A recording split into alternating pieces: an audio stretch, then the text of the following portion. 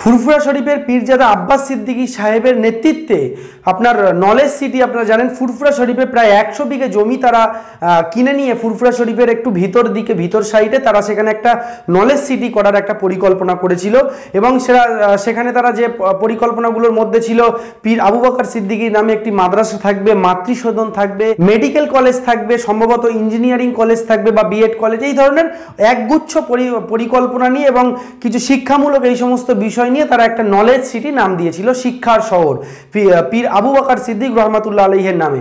দীর্ঘদিন কাজ বন্ধ ছিল। আমরাও বারবার প্রশ্ন তুলেছিলাম যে নলেজ সিটির এই কোটি কোটি টাকা কোথায় গেল? আব্বাস সিদ্দিকী সাহেব পরিষ্কার করে কেন তার হিসাব দিলেন না?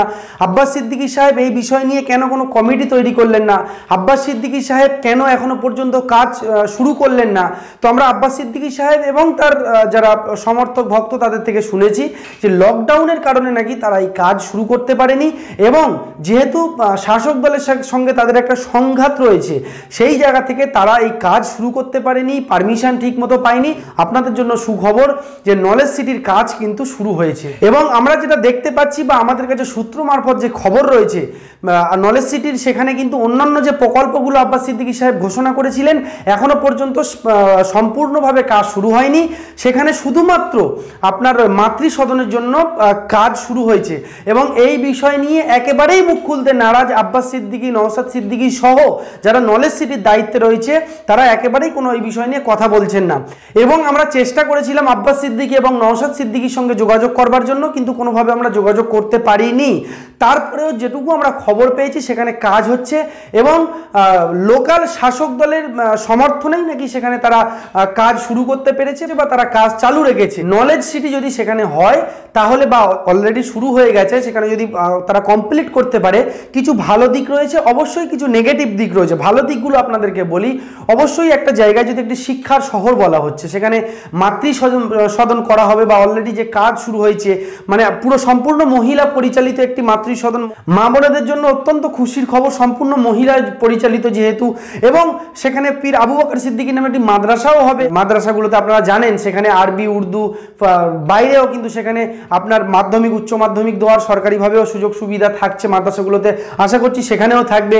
এবং সেখানে যদি ইঞ্জিনিয়ারিং কলেজ হয়, তাহলে সেই সুযোগ সুবিধাগুলো ছাত্র, ছাত্রছাত্রীরা পাবে। সঙ্গে যদি আপনার মেডিকেল কলেজ হয় বা অন্যান্য যে প্রকল্পগুলো সেগুলো হলে মানুষ উপকৃত হবে। এবং আরও একটি খুশির খবর হলো যে, সেখানে যদি এই প্রকল্পগুলো করতে পারে, এই একশো বিঘা জমির ওপর, যদিও আমাদের কাছে খবর রয়েছে যে, এখনও পর্যন্ত একশো বিঘা জমি সম্পূর্ণ কিনে উঠতে পারেনি বা কিছু কিছু জমি কেস মামলা চলছে, ঝামেলা চলছে। এখনও এই বিষয়গুলো তাদের ভিতরের ব্যাপার, তারা জানে। আমরা সঠিকভাবে বলতে পারব না। তবে ভালো দিক যেটা রয়েছে, যে সেখানে যদি এই শিক্ষার সহ নলেজ সিটিটা কমপ্লিটভাবে হয়, তাহলে কিন্তু কিছু কর্মসংস্থান হবে। কীভাবে হবে?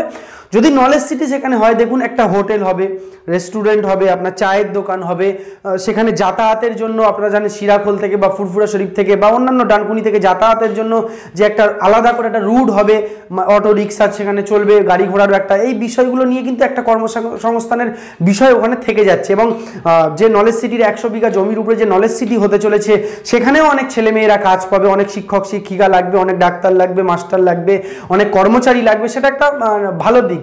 কিন্তু নেগেটিভ দিক কিছুটা হলেও যেটা আমাদের মনে হয়েছে, যেহেতু অনেকটা ভিতরে জায়গাটা মানে শহর থেকে তো অনেক ভিতরে, তার থেকেও বড় কথা ফুরফুরা শরীফ থেকেও অনেকটা ভিতরে। এবং নলেজ সিটিতে যেতে গেলে এখনও পর্যন্ত কিন্তু ভালো পাকা রাস্তা বা একেবারে চওড়া রাস্তা সেইভাবে আমরা দেখতে পাইনি। সরু রাস্তা রয়েছে, ইটের রাস্তা, কোনো জায়গায় মাটির রাস্তা। এই বিষয়গুলো কিন্তু ডেভেলপ করতে হবে, আর এই বিষয়গুলো ডেভেলপ করতে গেলে অবশ্যই রাজ্যের শাসক দলের আপনার সহযোগিতার প্রয়োজন রয়েছে। তবে আইএসএফ এর সঙ্গে মানে আব্বাস সিদ্দিকির নিজের হাতে গড়া যে আইএসএফ দল, সেই দলের একমাত্র এমএলএ নওসাদ সিদ্দিকী সাহেব, এই আইএসএফ এর সঙ্গে তৃণমূলের সম্পর্ক কিন্তু একেবারেই ভালো না। আপনারা জানেন, ভোটের পূর্বে যেভাবে আব্বাস সিদ্দিকী সাহেব রাজ্যের মুখ্যমন্ত্রী মমতা বন্দ্যোপাধ্যায় এবং রাজ্যের তৃণমূল নেতৃত্ববৃন্দকে যে ভাষায় আক্রমণ করেছিল, যেভাবে তাদের সঙ্গে একটা সংঘাতের জায়গা তৈরি হয়েছিল এবং মুখ্যমন্ত্রী মমতা বন্দ্যোপাধ্যায়, মন্ত্রী ফিরহাদ হাকিম সহ অভিষেক বন্দ্যোপাধ্যায় সহ, তারাও যেভাবে তাদের প্রতি আক্রমণ করেছিল, একটা সংঘাতের জায়গা রয়েছে। তাই কতটা সহযোগিতা নলেজ সিটির জন্য শাসক দল করবে এটা নিয়ে একটা সন্দেহ রয়েছে।